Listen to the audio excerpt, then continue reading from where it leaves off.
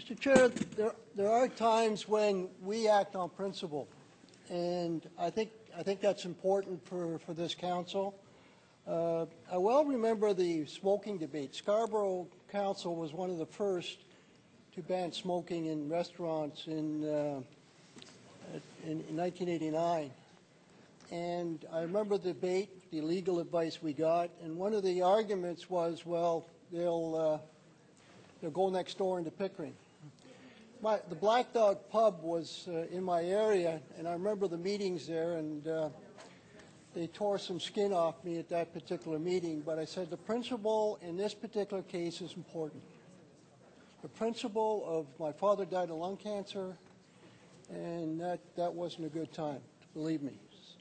And uh, at that particular point, I said, I'm supporting this. I know it's tough. I know the competition issue, but uh, six, uh, was it three or four years ago, the province followed as, as, as part of that and banned it uh, provincially, which I think was a great thing.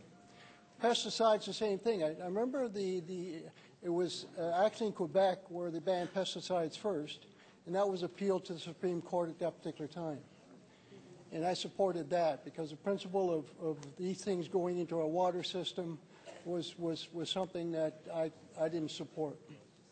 So there are times when we, we do go on principle and we do get legal advice, and I very much respect uh, the city solicitor.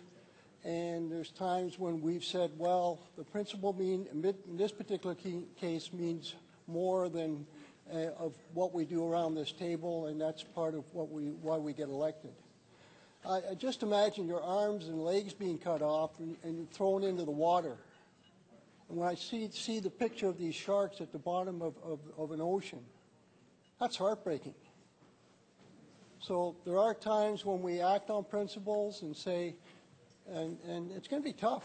you know, I, uh, you know, when our inspectors go in and say that that may be shark fin soup and, and so forth.